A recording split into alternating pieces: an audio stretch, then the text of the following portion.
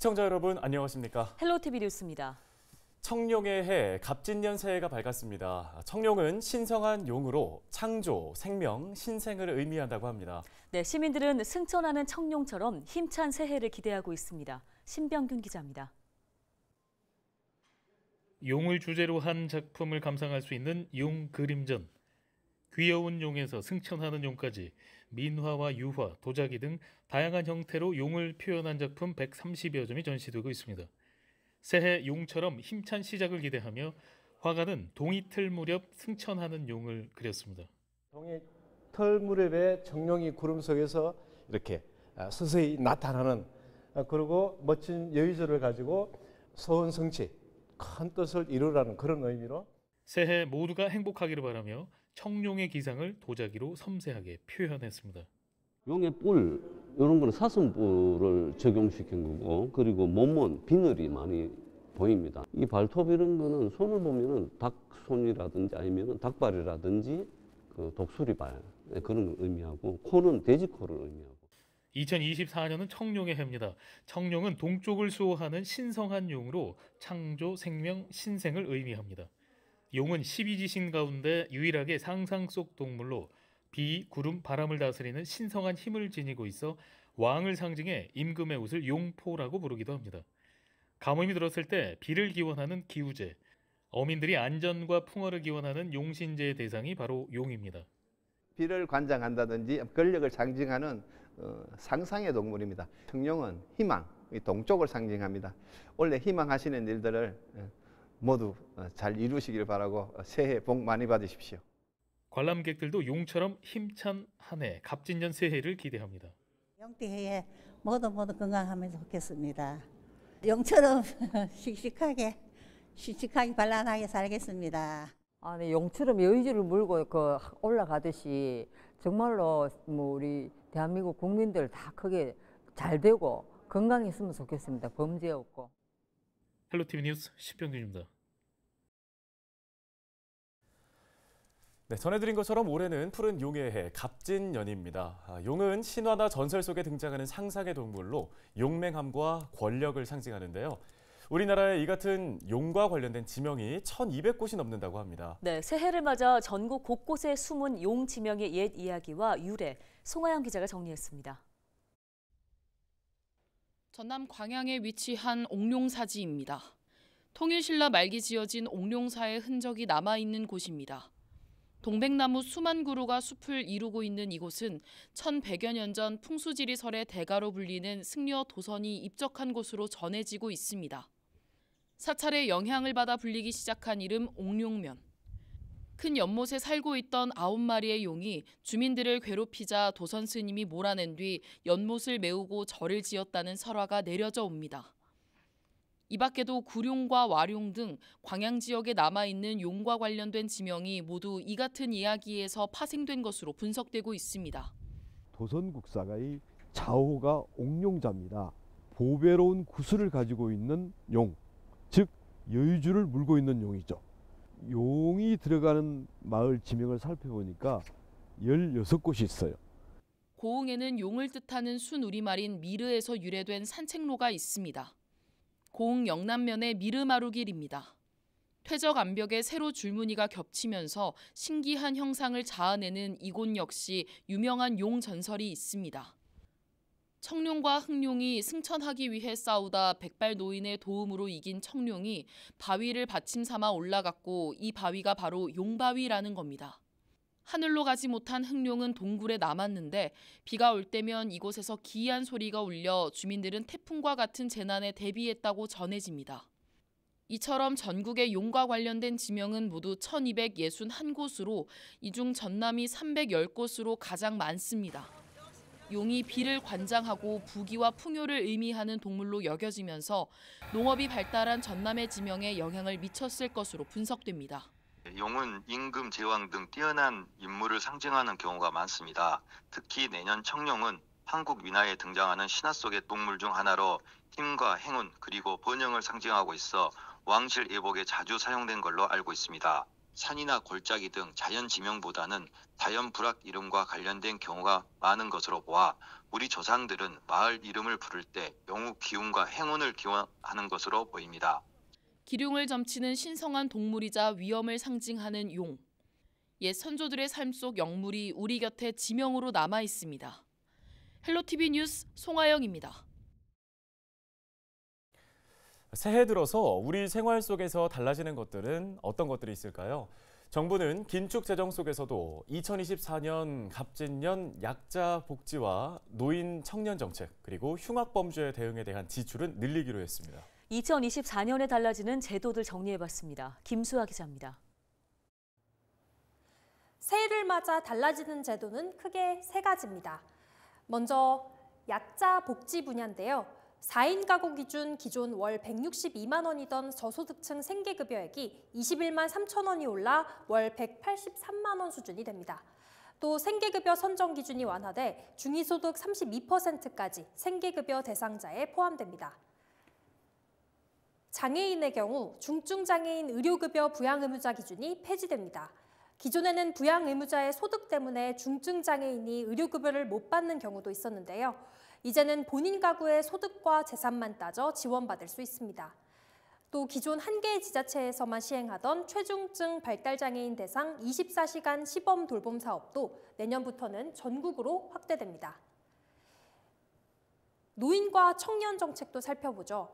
먼저 노인 일자리 수는 공익활동형, 사회서비스형, 시장형 사업단 부문 공공일자리를 올해보다 14만 개 이상 늘어난 103만 개 수준으로 확대할 예정입니다. 노인 수당 역시 7% 인상됩니다. 청년의 경우 국가기술 자격 시험에 응시하게 되면 매년 3회까지 50% 할인이 가능하고 청년 우대 교통카드 K패스가 도입돼 매달 교통비의 30%를 환급받을 수 있게 됩니다. 마지막으로 흉악범죄에 대한 대응도 강화하는데요.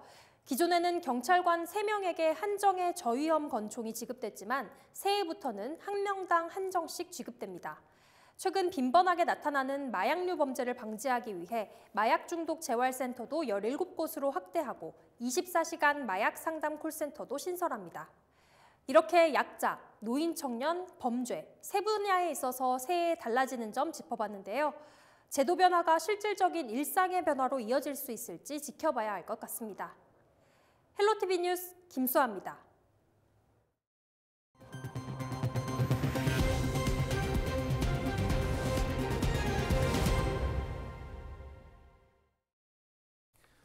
금융기관 등에서는 새해 경제 전망을 내놓고 있습니다.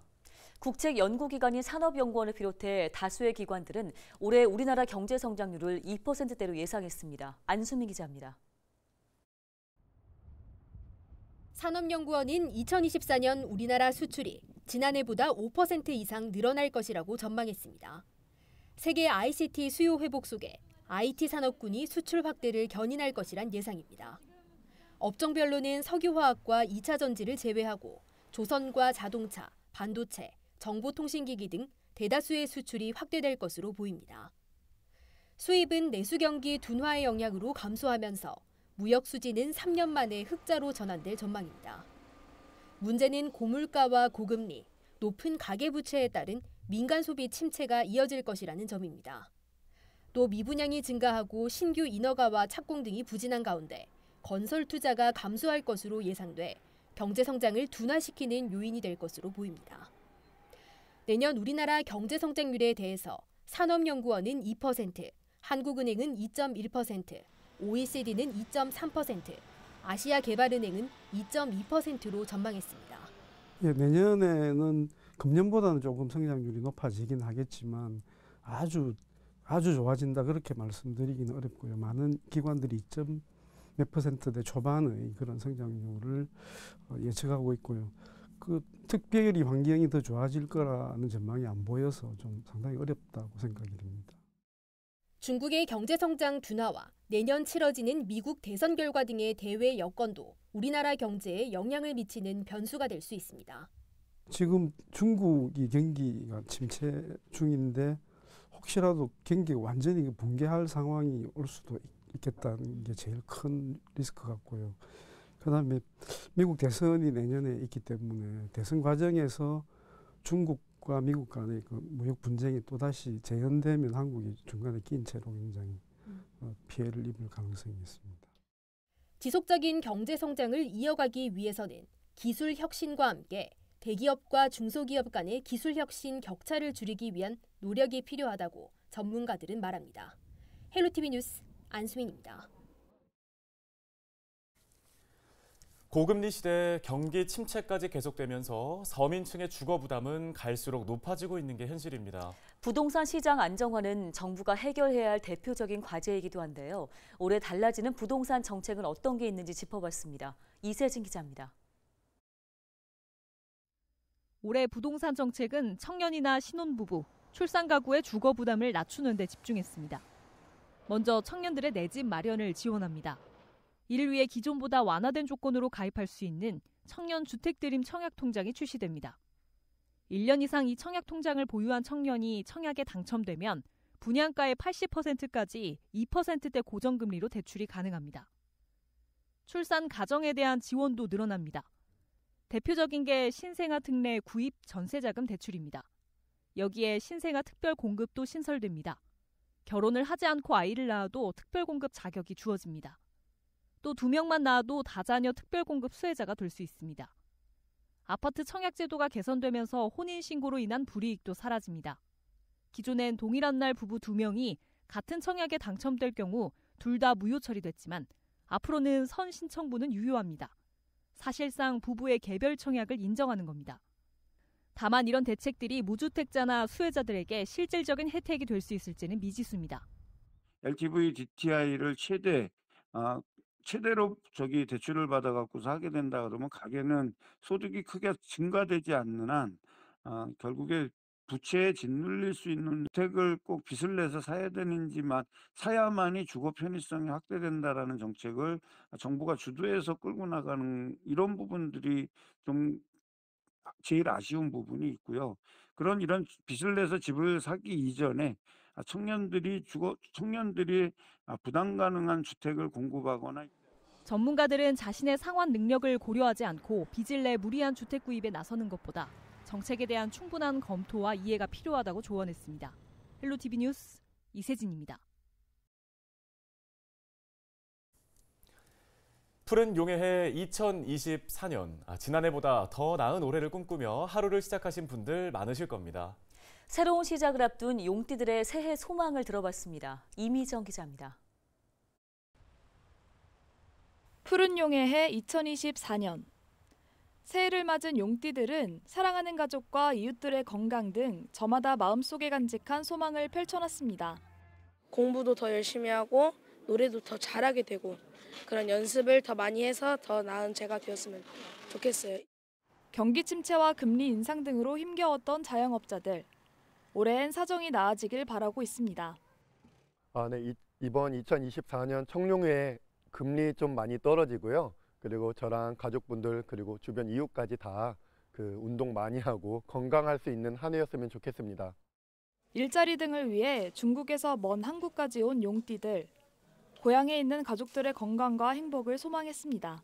소망은 어, 가족들이 모두 건강하고 행복에 자세요. 우리 대한민국 주민들이 다 부자 됐습니다. 우리 가족들이 건강하게 행복하게 살고 싶어요. 그리고 대한민국 화이팅! 용디 화이팅!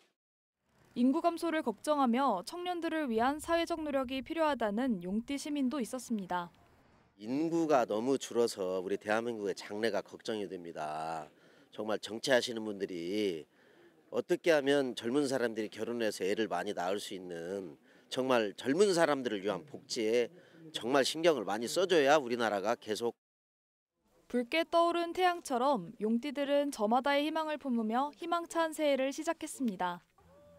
2024년 새해 원하는 것을 모두 이루고 행복한 한 해가 되길 기대합니다.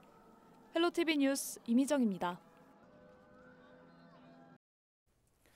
오늘 헬로티비 뉴스가 준비한 소식은 여기까지입니다. 네, 시청해주신 여러분 고맙습니다.